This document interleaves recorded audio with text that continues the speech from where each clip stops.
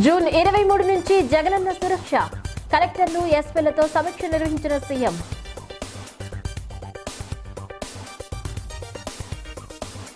EAP set ఫలితాలను విడుదల చేసిన మంత్రి బొత్స ఇంజనీరింగ్లో అబ్బాయిలదే హవా.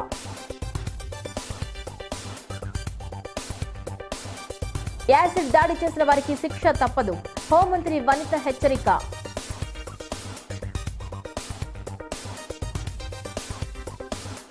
మత విద్వేషాలు రెచ్చగొట్టింది వైసీపీని.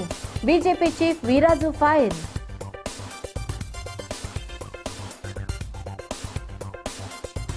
ఎవరో రాసిన స్క్రిప్ట్ అమిత్ షా చదివారు. ప్రభుత్వ సలహాదారు సజ్జల వ్యాఖ్య.